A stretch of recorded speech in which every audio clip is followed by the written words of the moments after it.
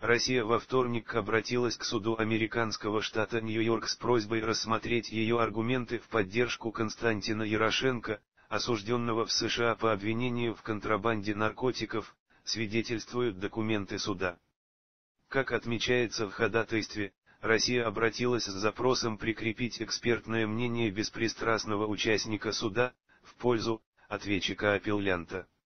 Речь идет о так называемом Эрмикас-бриф.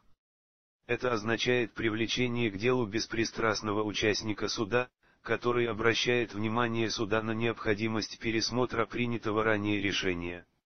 Сам документ также прилагается к ходатайству и включает в себя нарушения, которые, по мнению российской стороны, имели место в процессе над Ярошенко. Ярошенко в 2010 году был доставлен в США из Либерии.